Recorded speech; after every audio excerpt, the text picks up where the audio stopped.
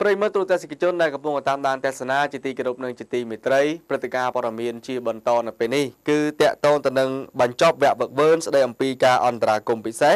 សម្រាប់ត្រៀមប្រតិបត្តិការរក្សាសន្តិសុខសុវត្ថិភាពសន្តិភាពសង្គមនៅក្នុងពេលមានយថាហេតុកើតឡើងរបស់កម្លាំងនគរបាលនៅក្នុងខេត្តពោធិ៍សាត់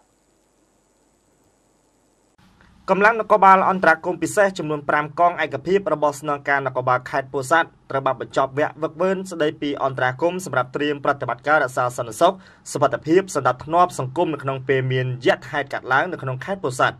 ពិធីបិទវគ្គនេះគឺប្រព្រឹត្តទៅនៅក្រោមអធិបតីភាពឧត្តមសេនីយ៍តូសរុនចន្ទធីស្នងការនគរបាលខេត្តពោធិ៍សាត់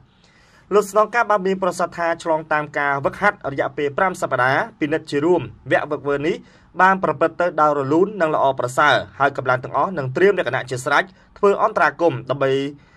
សម្រួលនៅសភាពការត្រៀមប្រតិបត្តិការរក្សាសន្តិសុខសុវត្ថិភាពសន្តិភាពសង្គមក្នុងពេលមានយថាហេតុកាត់ឡើងនិងការពីរិរដ្ឋាភិបាលស្របច្បាប់សម្ដៅធានាបានស្ថិរភាពក្នុងប្រទេសស្របទៅតាមការចង្អុលបង្ហាញរបស់នាយឧត្តមសេនីយ៍អគ្គស្នងការនគរបាលជាតិហើយនេះគឺជាលើកទី2ដែលកម្លាំងនគរបាលខេត្តពោធិ៍សាត់បានបញ្ចប់វគ្គវឹកវើនិងបន្តការវឹកហាត់ជារៀងរាល់ឆ្នាំ។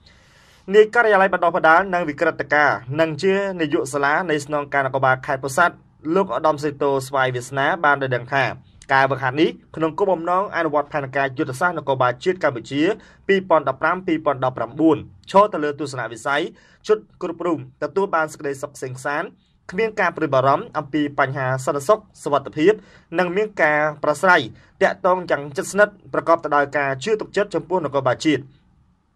ក្រោយពីបានការណែនាំនិងបញ្ជាផ្ទាល់របស់លោកស្នងការការិយាល័យបណ្ដុះបណ្ដាលបានរៀបចំកម្លាំងនគរបាលអន្តរាគមពិសេសចំនួន5កងឯកភាពមានកម្លាំងចំនួន178នាក់ការវឹកហាត់គឺចាប់ពីថ្ងៃទី21ខែសីហាដល់ថ្ងៃទី28ខែកញ្ញា2017ដោយមាន4លំហាត់អន្តរាគមគឺទី1ការ